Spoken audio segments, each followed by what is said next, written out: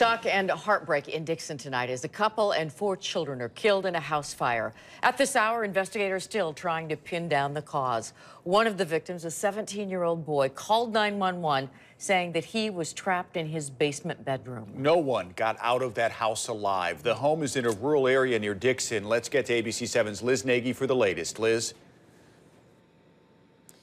Rob, inside this small, very private community, beyond the no trespassing signs behind me, people who live here say it has been an incredibly difficult day. Father, we just come to you tonight asking you to be the God of comfort. There's a warmth inside this rural community church, but not much understanding.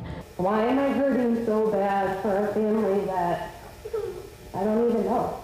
The tiny community of Lost Nation, about 100 miles west of Chicago, has lost an entire family. I broke down in tears.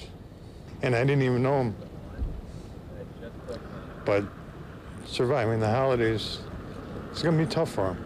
Just about midnight last night into this morning, Ron Hinterlong heard an explosion on Miami Drive. It was fully engulfed in flames. It wasn't even, uh, I wasn't even able to run in and try and save anybody at all because uh, the flames were too big. Firefighters couldn't save the Shaw family either.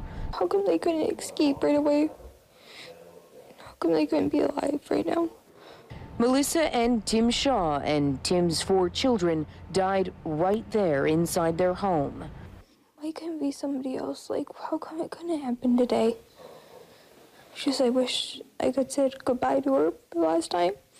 Now, a town of just a few hundred people is left struggling with the same questions. Tonight, fire investigators have still not determined what started that fire and what caused it to burn so intensely for so long. Firefighters did say that when they received the 911 call, they did not hear fire alarms going off in the background, but that doesn't necessarily mean that there weren't smoke detectors and fire alarms inside the home. Reporting live near Lost Nation tonight, Liz Nagy, ABC 7 Eyewitness News.